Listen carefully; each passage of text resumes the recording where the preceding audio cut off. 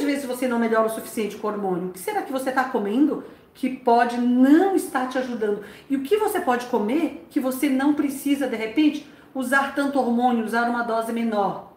E é isso que nós vamos entrar. E o primeiro grupo de alimentos que eu trouxe para vocês hoje é um grupo que é o um nome mais raro, mas os alimentos são muito conhecidos e eu sempre trouxe uma lista para aqui que eu quero ler especificamente para você, mas é um grupo dos vegetais crucíferos ou chamado brascas.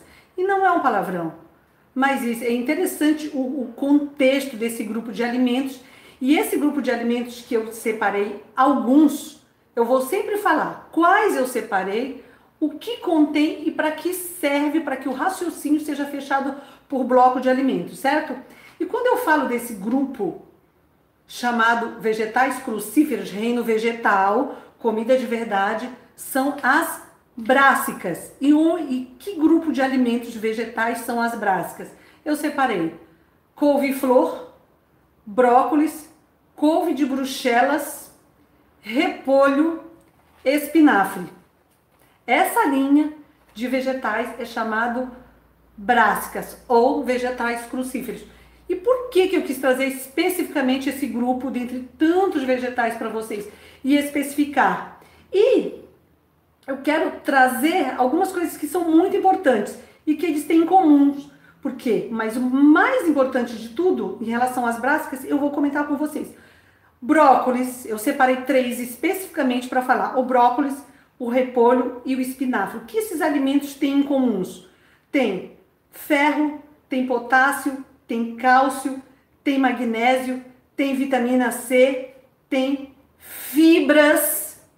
E além de tudo isso, tem uma substância muito importante chamada indol 3-carbinol.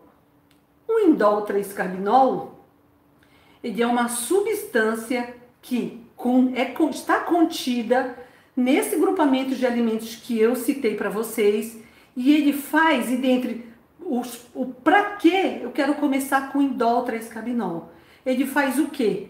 Ele promove uma metabolização hormonal direcionada. E o que, que é isso?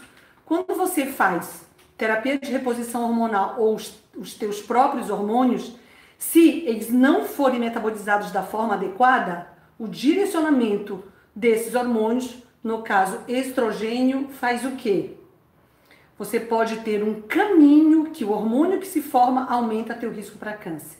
Eles são especificamente moduladores hormonais. Fora as brásicas serem moduladores hormonais, elas são importantes para desintoxicação do fígado. Ter um fígado funcionante é um órgão onde a metabolização dos hormônios acontece. Precisa ter um fígado que funciona? Precisa. Então, só por esses dois motivos, já vale. Fora isso, tudo que eu falei, todas as vitaminas, cálcio, magnésio, potássio, super importantes, fibras, para quê? Para o osso, osteopenia, osteoporose. Cálcio, magnésio são fundamentais. E isso porque eu estou trazendo os mais importantes, mas quando você opta por vegetais, você está fazendo uma escolha com um, uma elevada quantidade de quê? De vitaminas e minerais. Então, já está valendo.